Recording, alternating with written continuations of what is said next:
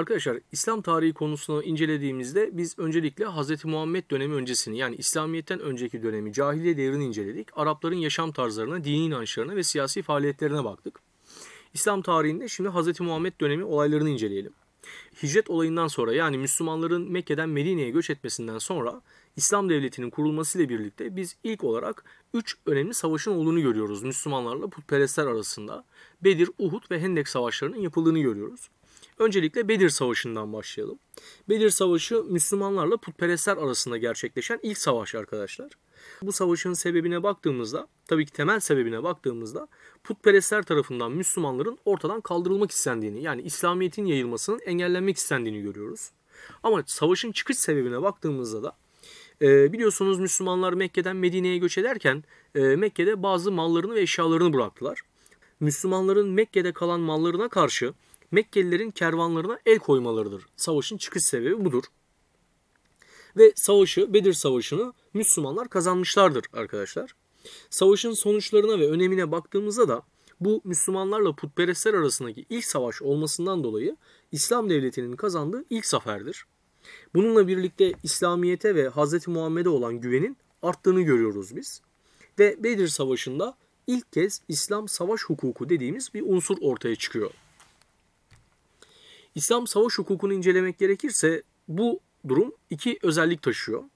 Bunlardan birisi esirlerle ilgili başlıktır. Yani esirlere davranış biçimi. Esirlere davranış biçimine baktığımızda her esir okuma yazma bilen esir 10 Müslümana okuma yazma öğretmek koşuluyla serbest kalacaktır denilmiş. Dolayısıyla her esirin 10 Müslümana okuma yazma öğretmesi Müslümanlar arasında bir eğitim seferberliğini de okuma yazma seferberliğini de başlatıldığını gösteriyor. İkinci başlığımız İslam savaş hukuku ile ilgili ise ganimet paylaşımıdır. Ganimetlerin 5'te e, 4'ü savaşa katılanlara dağıtılacak.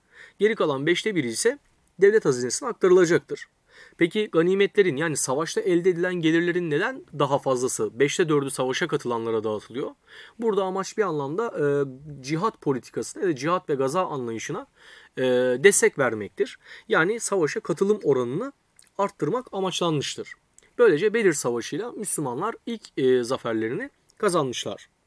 Hemen beraberinde Bedir Savaşı'nın bir anlamda intikamını alabilmek için Uhud Savaşı e, meydana gelir.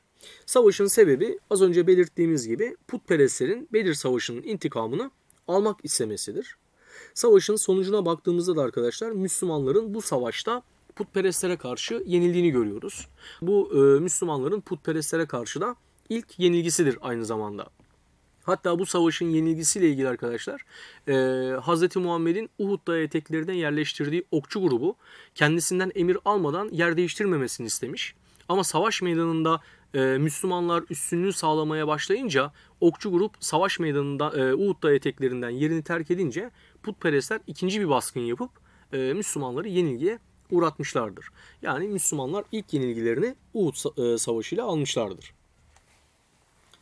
Ve Müslümanların putperestlere karşı gerçekleştirdiği üçüncü savaş arkadaşlar Hendek Savaşı'dır. Hendek Savaşı'nın sebebi Mekkeli putperestlerin Müslümanları artık ortadan kaldırmak istemeleridir. Çünkü Uhud Savaşı ile putperestler bir anlamda e, hem cesaretlenmişler hem de ümitlenmişlerdi.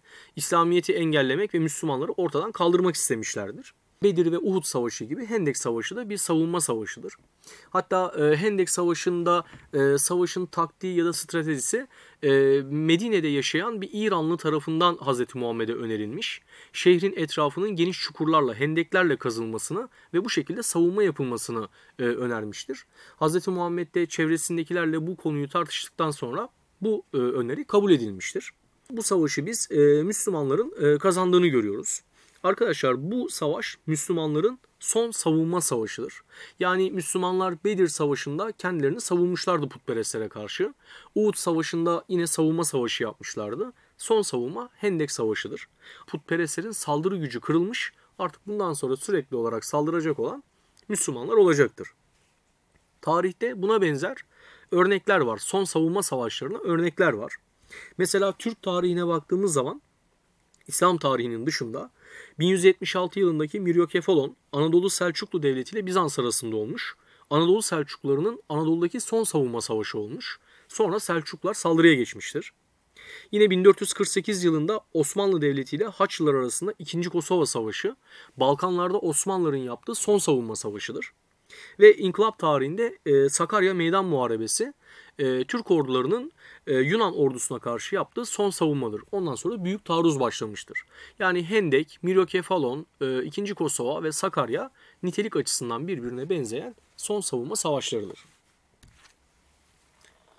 Bu üç savaştan sonra arkadaşlar biz 628 tarihinde Hudeybiye Anlaşması'nın imzalandığını görüyoruz.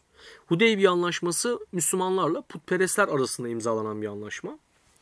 Müslümanların Mekke'de hac ziyareti yapmak istemeleri ve kalabalık grup halinde gelen Müslümanların Mekke'ye alınmaması üzerine yapılan anlaşmadır bu. Müslümanlara e, hac vazifesi gelince arkadaşlar e, kalabalık gruplar halinde Mekke'ye gelmişler. Ancak Müslümanların kalabalık gruplar halinde Mekke'ye gelmesi tehlikeli olarak görüldüğü için Mekkeli putperestler Müslümanları şehre almak istememiş. Bu yüzden Hudeybiye Anlaşması imzalanmıştır. Bu anlaşmaya göre Müslümanlar o yıl değil ama bir yıl sonra Kabe'yi ziyaret edebilecek. Reşit olmadan İslamiyet'i seçen Mekkeli gençler iade edilecek. Ancak Medine'de Mekke'ye sığınan olursa geri verilmeyecektir diyor. Yani arkadaşlar bu maddenin açılımına baktığımızda reşit olmayan putperest Müslüman olursa ailesinin yanına geri gönderilecek. Ama bir Müslüman tekrar putperestliğe dönerse Medine kentine bir daha alınmayacaktır. Dolayısıyla bu madde aslında başlangıçta Müslümanların aleyhine gibi gözüken, olumsuz gözüken bir maddedir. Ama ilerleyen süreçlerde Müslümanların lehine dönen yani Hz. Muhammed'in ileri görüşlülüğünü kanıtlayan bir maddedir aynı zamanda. İki taraf 10 yıl savaşmayacak demiş. Müslümanlarla putperestler 10 yıl savaşmayacaklar. Dolayısıyla bu arkadaşlar Müslümanların avantajına olan bir maddedir. 10 yıllık bir barış ortamında İslamiyet diğer Arap kabileleri arasında daha kolay yayılma fırsatı bulabilir. O yüzden bu madde Müslümanların lehine olan bir maddedir. Ve Arap kabileleri taraf tutmakta serbest olabilecek denilmiş. Hudeybiye Anlaşması'nın önemini incelediğimizde Müslümanlar ilk kez arkadaşlar resmen ve hukuken putperestler tarafından tanınmışlardır. Ve az önce söylediğimiz gibi Müslümanların aleyhine gibi görünen bu durum sonra Müslümanların lehine dönmüştür. Arkadaşlar Hz. Muhammed dönemindeki bir başka gelişme ise 629 tarihinde meydana gelen Hayber'in fethidir. Bu savaşın sebebi ise ekonomiktir. Yani Hicaz-Şam ticaret yolunun denetimini sağlamaktır. Çünkü Hayber Kalesi e, Araplar açısından çok önemli olan Hicaz-Şam ticaret yolu üzerinde olan bir kaledir. Bu yüzden e, Hayber'in alınması demek Hicaz-Şam ticaret yolunun denetim altına alınmak istenmesi demektir. Müslümanlar burada arkadaşlar nasıl Yahudilerle karşı karşıya gelmiş?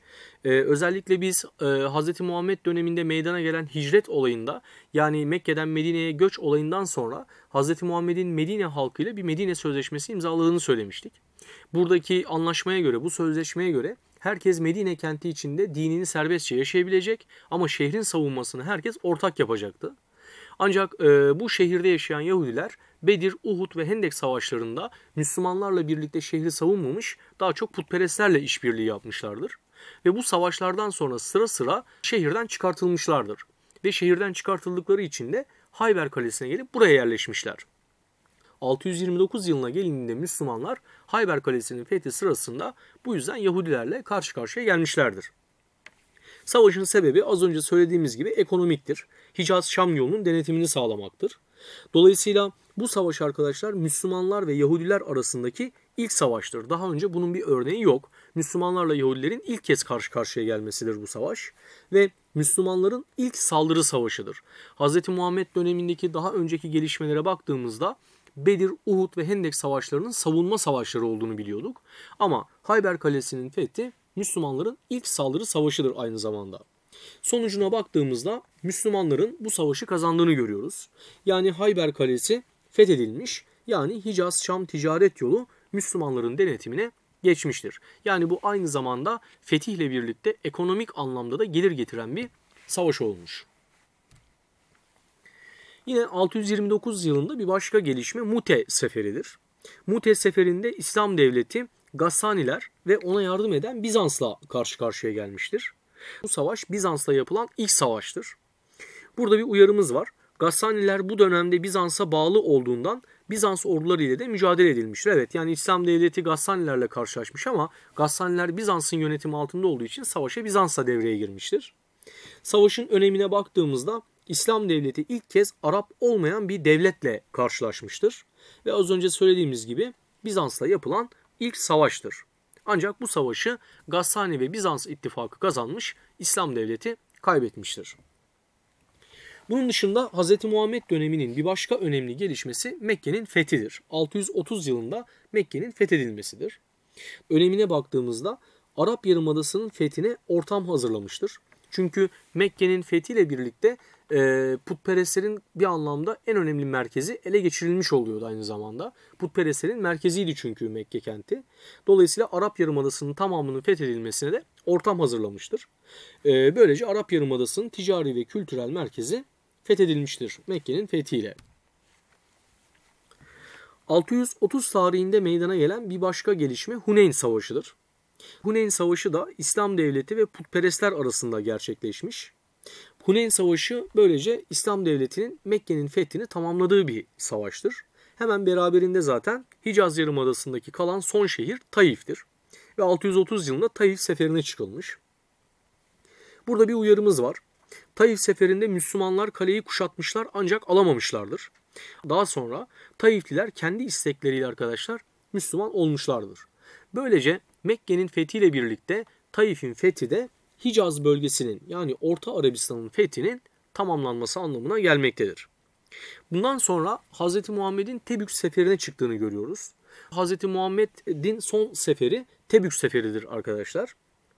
Ve bu olaydan sonra zaten Hz. Muhammed'in veda haccı e, ve veda hutbesini görmekteyiz. Daha sonra da Hz. Muhammed vefat etmiş ve Hz. Muhammed dönemi tamamlanmış. Böylece Kur'an-ı Kerim'in gelişi de tamamlanmıştır. Música